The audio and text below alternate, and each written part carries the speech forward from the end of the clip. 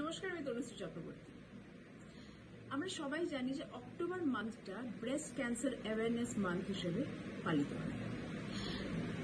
এই ব্রেস্ট ক্যান্সারের বিরুদ্ধে রুবির হাসপাতালের যে লড়াই সেই লড়াইয়ের পাশে আমি আগেও ছিলাম এখনও আছি।